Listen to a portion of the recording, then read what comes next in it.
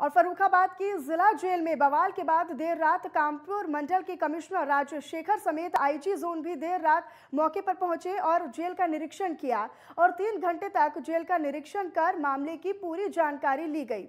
Jail में हालत जो है, हालात काबू में होने के साथ ही मामले पर कमिश्नर ने बताया कि जेल के हालात बिल्कुल ठीक है और अधिकारियों ने आवश्यक कार्रवाई की है और पूरे मामले में समय समय पर शासन और प्रशासन को अपडेट किया जा रहा है। पूरी जानकारी उन्हें दी जा रही है। फ़िलहाल पूरे मामले में एक बंदी की मौत भी बताई जा रही है और जेल में तमंचा बरामद होने के सवाल के जवाब में साफ़ कह दिया गया है कि पूरे मामले की जाँच जारी है। जो कार्रवाई आवश्यक कार्रवाई करनी चाहिए थी, वो जो भी प्रशासनिक अधिकारी है, पुलिस अधिकारी है और जेल के अधिकारी, उसको तत्काल संज्ञान में लेके आवश्यक कार्रवाई की जा रही है और शासन को भी इसमें जो है समय समय पर अपडेट की जा रही है ये चीज़ों पे। और इसके अलावा पहले सबसे प्रायोरिटी था कि शांति व्यवस्था को बनाए रखना और वो स्थापित कर दिया गया है। अभी कोई दिक्कत नहीं है सुबह से और हमारे वरिष्ठ अधिकारी भी मौके पे है और उसको कंटिन्यूसली मॉनिटरिंग उसमें की जा रही है।